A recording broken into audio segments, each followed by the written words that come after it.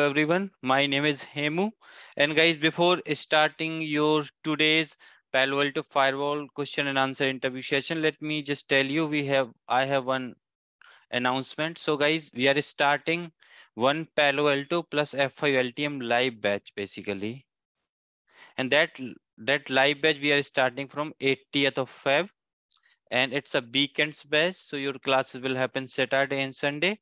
First, we will try to complete your Palo Alto firewall. And this particular Palo Alto firewall needs around eight weeks to complete. And once your Palo Alto will complete, we will start your F5 LTM and F5 LTM needs around seven weeks. And the timing for this particular session is 9 a.m. to 11.30 a.m. IST, Saturday and Sunday. And the fees for this training is 10,000. So this is the one update which I'm having. Now, one more update, guys. All, all your recording regarding the Palo Alto and your Panorama interview question and answers, you will get into my video portal. And this is the course. For, so you have to purchase that course and the cost for this particular training is one INR because we cannot able to set zero here. We have that type of limitation on our video portal. So that's why we will put the cost here, one INR. Okay. So in this portal, you will get all the recording. Apart from this, I will also upload these recordings into my YouTube channel. So in YouTube channels also, you will get these particular recordings. Okay, so this is the some details now. Guys, if you remember, if you remember yesterday, we have discussed these initial five questions. And today I will try to cover remaining five questions actually. So guys, in your interview, if somebody asks, what is wildfire in your Palo Alto firewall? Or can you explain the wildfire operation? Or maybe if they are asking, what is the sandboxing technology or technique in your Palo Alto firewall? Or maybe they will ask you in this way, how your Palo Alto firewall protect us from the real-time malwares or how your Palo Alto firewall protect us from the unknown malwares, from the malwares whose signature we don't have into our signature database. All such kind of things comes under your wildfire guys. What? All such kind of things comes under the wildfire feature of your Palo Alto firewall. Now let me just explain you how this wildfire feature works in your Palo Alto environment. Let's suppose we have a setup like this. I have my Palo Alto firewall here. I have an internal PC here. And this is my internet. Let's suppose here we have one of the server for any website. Okay, let's say this server is belongs to abc.com. Now on this server, basically what there's a one hacker who has installed some type of malware.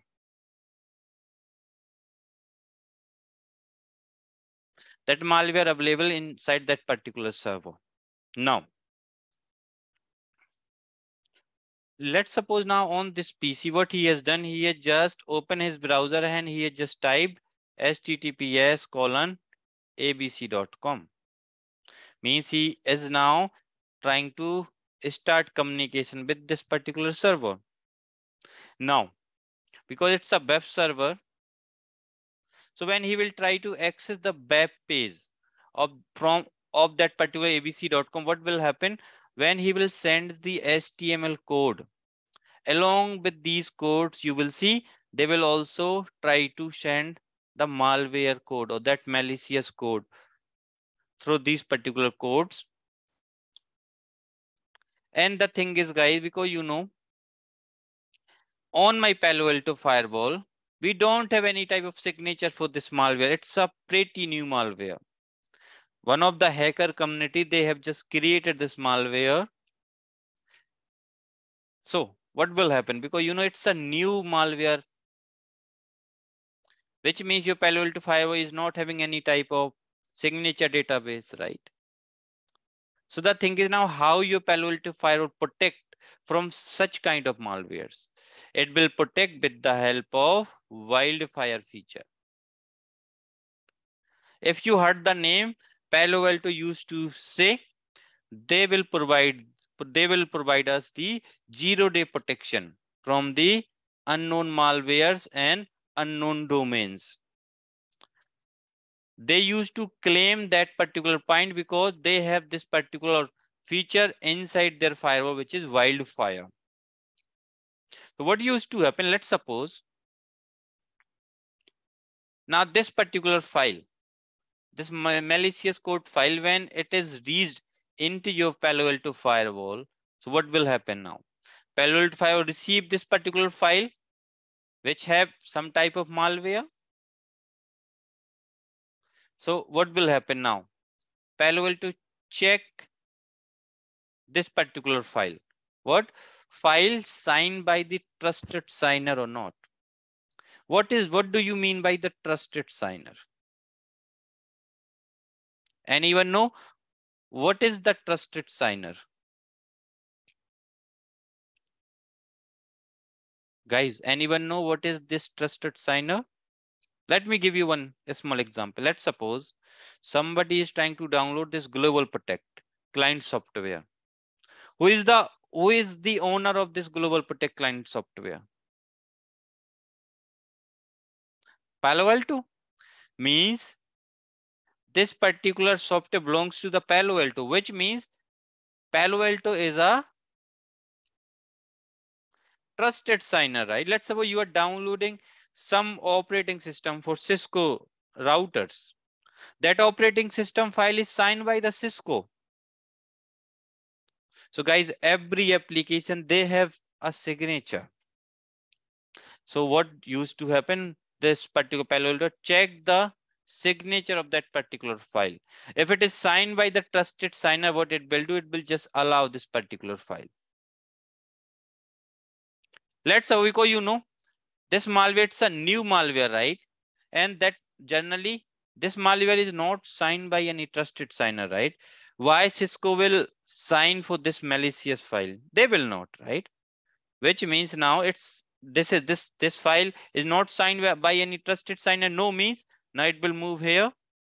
Now what your Palo Alto will do? Now Palo Alto create the hash of that particular file means it will try to create the MD5 hash with the help of MD5 hashing algorithm. It will create the hash of hash on that file. And after that, now it will check that particular hash inside the wildfire database. Your Palo Alto Firewall has a wildfire signature database. And it will check that particular received hash with the wildfire database.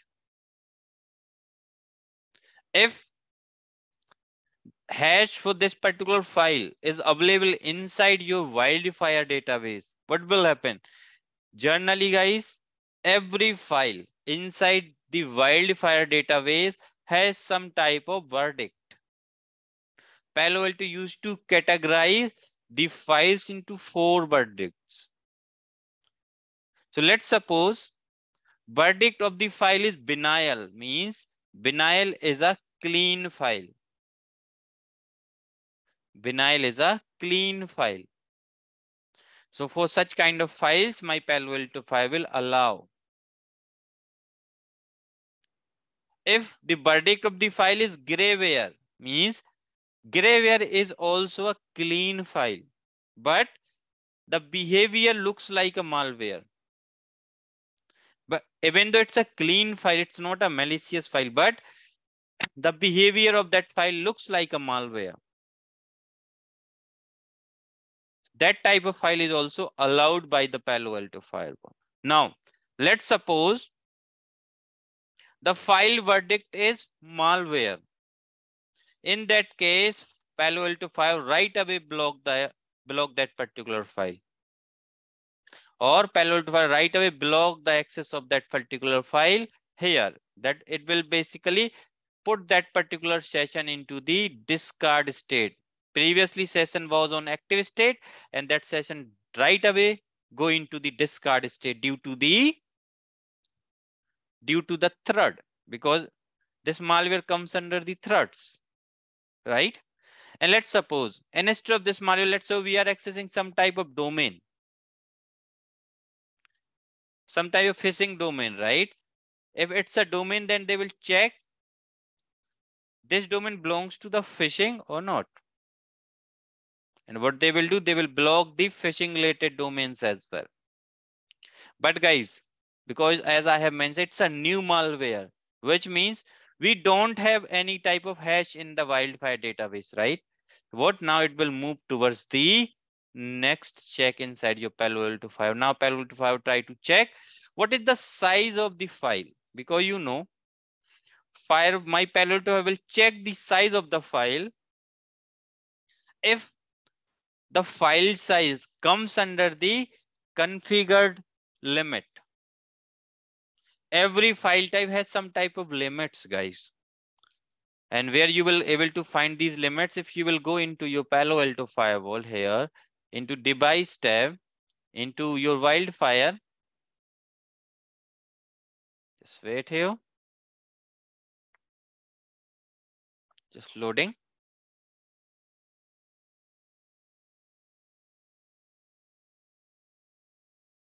Now can go here. You can see if its file type is P type, then it will upload the files whose size is either 16 MB or below. If your file type is APK, then size is 10 MB. PDF file size is 3072 KB. Microsoft Office file size is 16,384 KB jar file is 5 MB, flash file is also 5 MB, right? So we have a file types. According to this file types only, it will basically try to upload. So what it will check? Now it will check the file size. if file size is maximum, let's suppose this malware, this file type is a bat file and the size is 100 MB. What it will do? It will allow that file. But guys, tell me one thing. Can we have a packet of 100 MB? No, right? Generally packet size is 1500 bytes maximum. If we will club multiple packets, then in that case only maybe size will increase, right? But always you will see the file malware file size is very less in size, okay?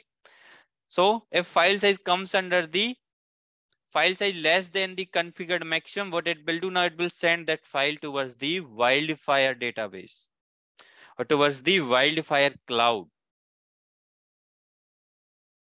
Means it's a pal, it's that particular cloud available in your Palo Alto environment. It's a, and on that particular cloud, what used to happen in wildfire cloud they have a all type of devices here they have a bare metal devices they are they have all kind of windows operating system, all type of Linux operating system, all type of iOS devices. They have everything there. And what they used to do, they will try to run that particular file into all such kind of devices, operating systems. And what they will, they will try to observe the behavior of that particular file means they will do the wildfire analysis and guys this this particular thing is also known as sandboxing so do not confuse with the sandboxing. Somebody asks the term sandboxing in Palo Alto firewall, your wildfire is equals to sandboxing. So they they run that file into all type of bare metal hard devices, all type of virtual devices, right? On all type of Windows operating system, and they will just observe the behavior. According to the behavior of that particular file, what they generate the verdict. If file behavior is okay means if file is behaving if file is clean which means file behavior is okay in that case they will put that file in a benign category. If file behavior is is it's a clean file but looks like a malware then they will provide the verdict as grayware. If your file having any type of malware then file behavior is looks like a malware so they will get they will provide the verdict, which is malware. If it is file behaving like a phishing, then they will provide the verdict to phishing. And what they will do, they will right away inform the firewall regarding the verdict of that particular file. Let's suppose a verdict is phishing or malware. What will happen? Your Palo Alto firewall stop processing or stop the downloading of this file here. And what it will do? It will change the session from active to discard state right away. So that's how your Palo Alto firewall protect us from the unknown malwares. And what it will do, it will up, update the file list into the wildfire database. And also it will generate the signature in case of verdict is malware and it will send that signatures to the firewalls means now it will send that signature to this firewall along with all the Palo Alto firewall across the globe from any organization. All these firewall, they will get the signatures right away. Immediately, it will send that signature of that particular malware to the firewalls who has the wildfire subscription within five minutes.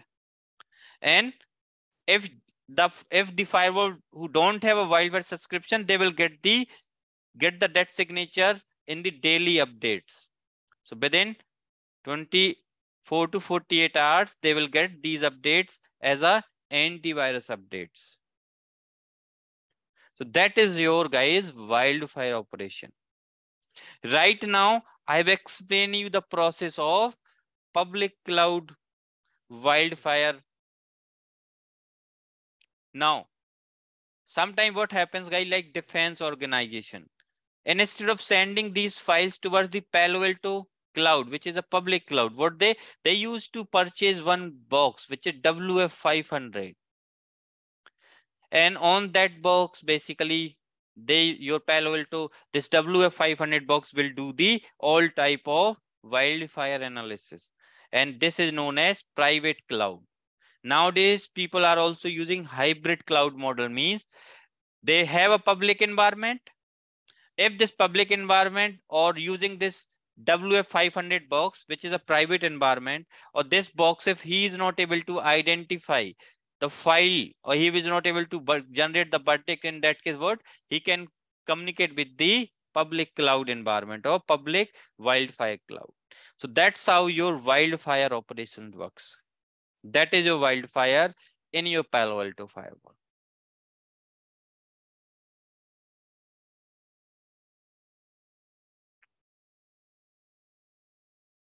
So that is guys all about your what is wildfire? Explain the wildfire operation. So this process is your wildfire operation. This entire process.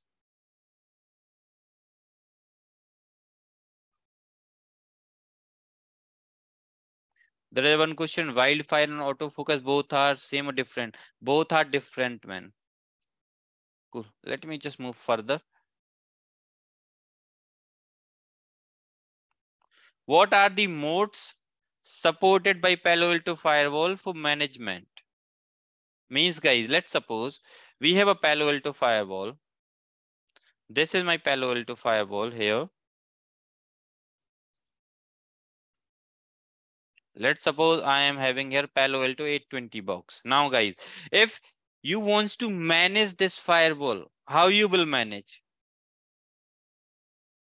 Generally, if you want to do any type of configuration or you wants to fetch anything, how you will do that? What is the first option, which is graphical user interface?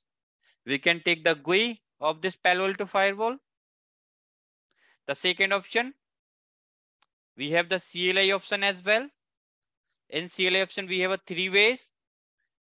We can get the Palo Alto Firewall CLI with the help of console cable. We can get the Palo Alto Firewall CLI with the help of SSH. And we can also get the Palo Alto CLI with the help of Telnet, right? The what is the third option we will be having? If we have a panorama environment, then we can able to manage the Palo Alto file from the panorama.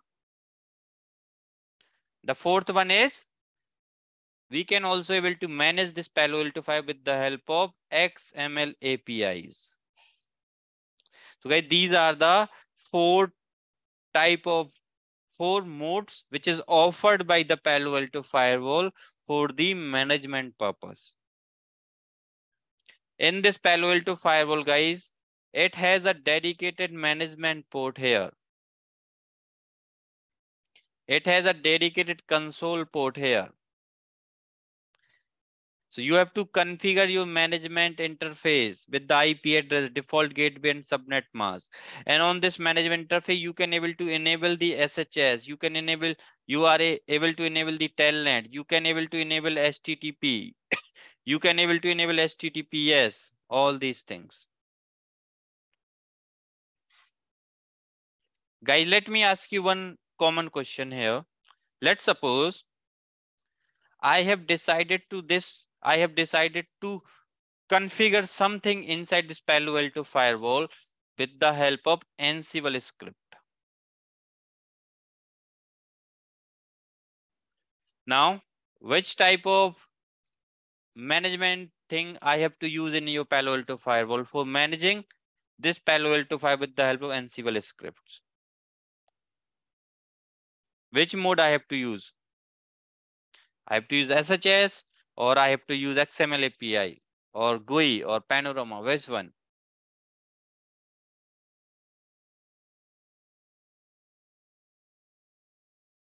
Guys, all type of automation stuff. If you are doing the automation of your Palo Alto firewall, it is possible with the help of XML APIs. So we will use here XML APIs. Okay, just remember. Generally, we always used to do the Palo Alto automation with the help of XML APIs. We can use the SHS as well, but that's not a good way. We cannot able to automate everything with the help of SHS. If you are doing the automation with the help of SHS, in that case, you have to remember the command and everything. You have to run the set command, delete command, all such kind of command. But all type of automation tool, they will use the XML APIs because you know it will support the XML calls. All the object inside your Palo Alto firewall, they will support the XML APIs. They used to support the XML API calls basically. Okay, just remember this thing. Nowadays, this question become very, very popular because you know, nowadays people are focusing on your automation steps and all. Okay, cool. Now guys, let's try to understand what are the action available in your URL filtering. Guys, anyone remember what are the actions available in your Palo Alto firewall for URL filtering? Reply on the chat who know URL filtering action. Let's say you want to block some URLs, what type of action you can able to set?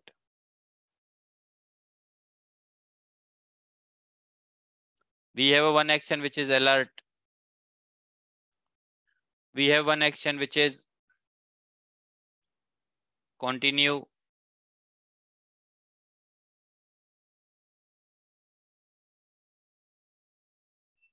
We have one action which is override. we have one action which is allow right so these are the generally actions we will have we will be having in your Palo Alto firewall if I'll go into my object tab into my URL filtering default you can see here if I'll go here default I will not able to modify let me go inside that one everything I just received from the panorama.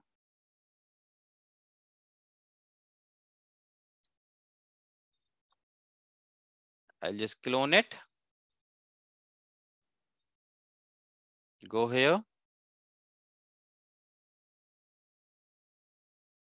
Now you can see we have the action which is alert, allow, block, continue, override. So these are the five action which is available in your Palo Alto Fiber in for the URL filtering. What is the last one which is block. Now, let's try to understand all these particular actions, guys. So if you remember, we have the action which is allow. What this action will do, let's suppose we have write one rule on your Palo Alto 5, allow the social networking. So if somebody is trying to access the facebook.com because you know Facebook comes under the social networking category. So we will go with the action which is allow. In that case, what your Palo Alto 5 will do, it will simply allow the allow the access for all the social networking websites. So it will allow the access, but it will not generate. I can write not generate the log. You will not able to see any type of log into this section. If you will remember guys, in monitor tab, we have this URL filtering. Here you will not able to get the get any information regarding this particular URL. See, generally otherwise we used to get all these details, URL logs. But if you will just go with the allow action, you will not able to get the you will not able to see anything with regards to the logs. So guys, the best way if you want to allow the access of a website, but you want the log. In that case, what we have to choose the alert action. So means an alert, it will allow plus it will generate the log. In continue, what will happen? Continue action is known as temporary block. Means it will give you one warning message. If you will access, you are trying to access any website, what? It will give you one warning message. Do you want to continue or not? If you will click on that continue button, then only you can able to access that particular website. And guys, in that case, what it will do? It's a temporary block. If you if you click on continue button means you will get one page here stating that you want to continue the access of that website or not. And it will also generate the log. So that's the meaning of continue. And after that we have our next action which is override. In override this is also known as temporary block here also it will generate the log. But instead of this time temp in temp override action, what it will use to do? It will give you one page. Now on this page, what you have to, you have to put the password. There is a one admin, one URL password. That password you have to enter. If you will enter the correct password, then only you can able to access the website.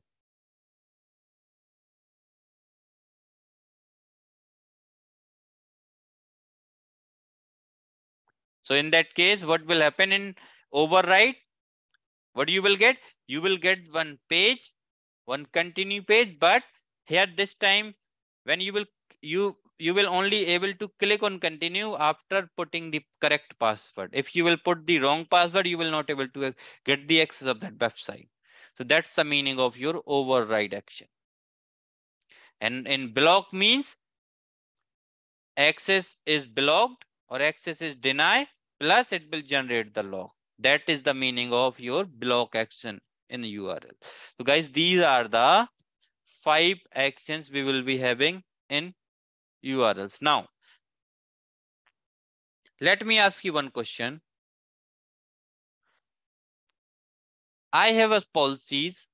So guys, in my policy, I have written in my application based policies, I have the rule, I have the deny. I have denied the facebook.com or I have denied the Facebook application.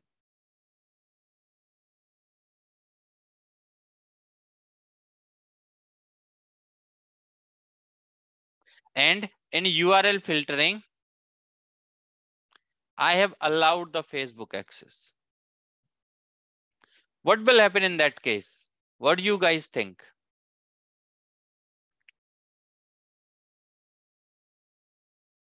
Anyone know? In URL filtering, I'm allowing the Facebook, but in application, I'm denying the Facebook. So guys, just remember one thing. If you have a deny anywhere, either in application, either in URL, so anywhere, if you have a deny for a particular URL or for anything, like for any destination as well, your Palo Alto firewall always drop the packet, always deny the packets. Okay. It will always deny. It will not allow. Just remember one thing. Always if let, let's suppose you have a you have a one security policy rule, right? Where you have put one destination which is denied, right? And like you have put the IP address of Facebook which is allowed and you have the application where you will put the deny then you have url where you have allowed then it will deny. If you have a deny statement anywhere your traffic will be denied always remember. Now guys anyone know what is url filtering solution and how many type of url filtering solution supported by the palo alto firewall Guys, somebody asked, what is URL filtering solution in your Palo Alto firewall? You have to simply explain. You have to simply explain URL filtering solution in your Palo Alto firewall is used for allowing or either denying the URL or a URI. So let's suppose if I will type https colon slash youtube.com. This is known as URL. Let's suppose, what is URI? Let's suppose I am now putting some specific, specific YouTube videos. I'm referring some specific YouTube videos like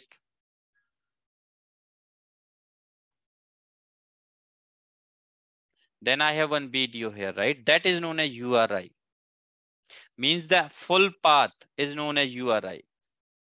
If I can just play this video. Now this entire thing is URI. And guys, in this particular, this part is known, known as URL and everything till here is known as URI. So guys, we will use this particular solution for blocking both the things.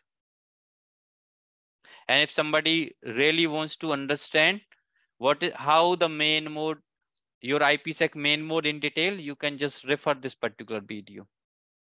Okay. Now, let me just go here.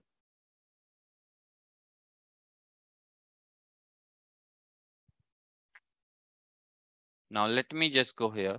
So guys, Now you got the point here. This URL filtering solution we use for blocking or allowing the URLs or either URI. Now, guys, can you can anyone able to tell me what is the use case for the URI if you want to block the URI?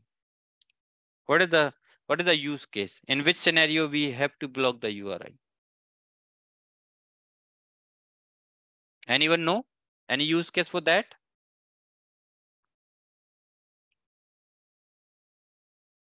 Guys, let me tell you one thing. Let's suppose in facebook.com, there is a one post is available. On that post, it has some illegal content.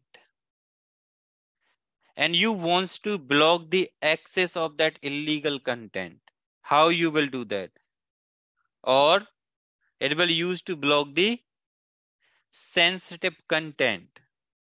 Like some post who is promoting the terrorism who is promoting some type of pornography related content right? So if you want to block such kind of content what you have to go with the uri that is the so url filtering solution is used for blocking the urls or uri and guys palo alto offers two types of url filtering solution The first solution is known as PanDB.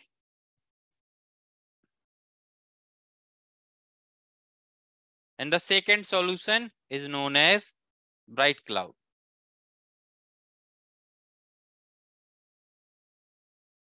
Now guys, this PanDB. This particular solution is managed by managed or maintained by Palo Alto team. And this particular solution is managed or maintained by the company known as Webroot Inc. Means Bright Cloud is a third party URL filtering solution. Guys, when your Palo Alto firewall was growing, that time people were using the Bright Cloud solution for URL filtering. But nowadays, everyone is using the PanDB. Why they are using PanDB? Because you know, PanDB has a very, very tight integration with your Palo Alto firewall or with your PAN-OS. And how this PanDB is hosted?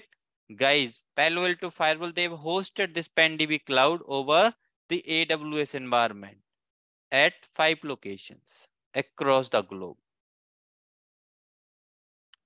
Okay, so that is the main, so these are the two types of solution which is offered by the Palo Alto Firewall. Now, maybe in your interview, they will ask, can we run PanDB in Bright Cloud at the same time on the firewall? So guys, just remember one thing, we are not able to run both the solution together. Either we have to run PanDB or either we have to run Bright Cloud. If you will, let's suppose you have enabled the Bright Cloud. In that case, your PanDB is automatically disabled. And if you will enable the PanDB, then your Bright Cloud will be disabled. And guys, you have to purchase the license for both the solutions and license cost is also similar. And nowadays, everyone is using because you know, it has a very, very tight integration. Let me just show you what do you, what I'm, what I'm referring with regards to the tight integration.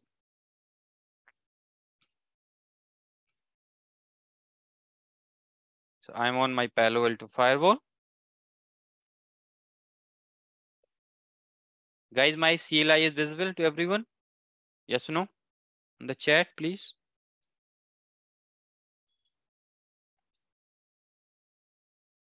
Okay, I'm about to log in on the firewall. So guys, if you run this command, so URL cloud status. So guys, this is the tight integration you will get. Cloud is connected. License is valid. Right now, it has a connected with the second PanDB server. They have a servers at five locations. One is in North Virginia. Then they have one. One is in Europe. They have one in Singapore, and I think they one have they they have one in Japan somewhere. Like like that they have they have distributed these five locations. You can check the version what is the latest version for URL database over the cloud and what is the data in your system. See, the status is good. They are running the same protocol version and compatibility. Check the compatibility. They are compatible. And if you will run this command, let me just try to run one command. grep pattern URL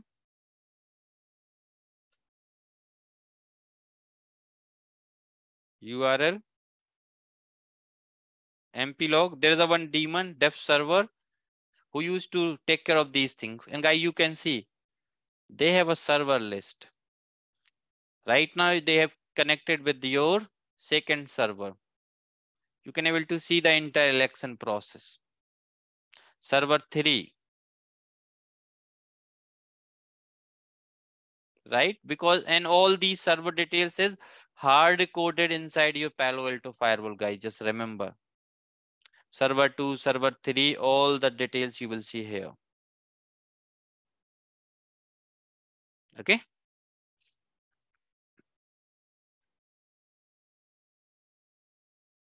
Now let me just move forward towards the next question, which is What is captive portal in your Palo Alto firewall? So guys, let's try to understand this captive portal concept. So let's suppose I have a setup like this. I have my Palo Alto firewall. I have my LAN infra. I have my WAN infra here. And here I have internet connectivity with the internet service provider. Now, here I have around 100 users. I have around 100 users and all these 100 users, they are using Windows operating system.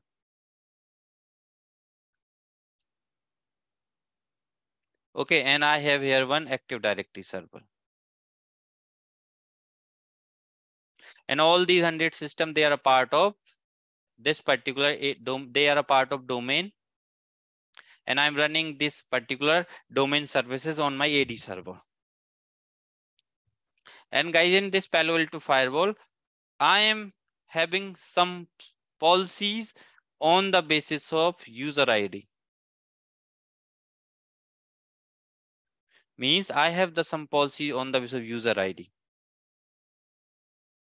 Means if if traffic coming from let's suppose like user one, I will allow. If traffic coming from user two, I will allow. I am not using the IP address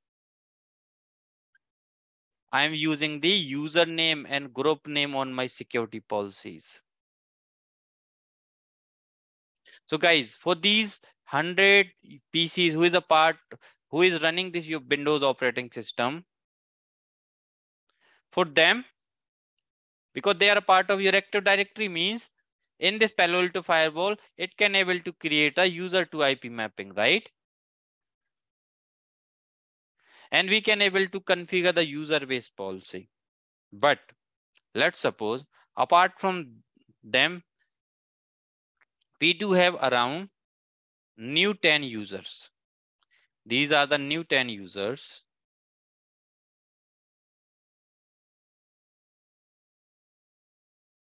And these users, they are running Linux.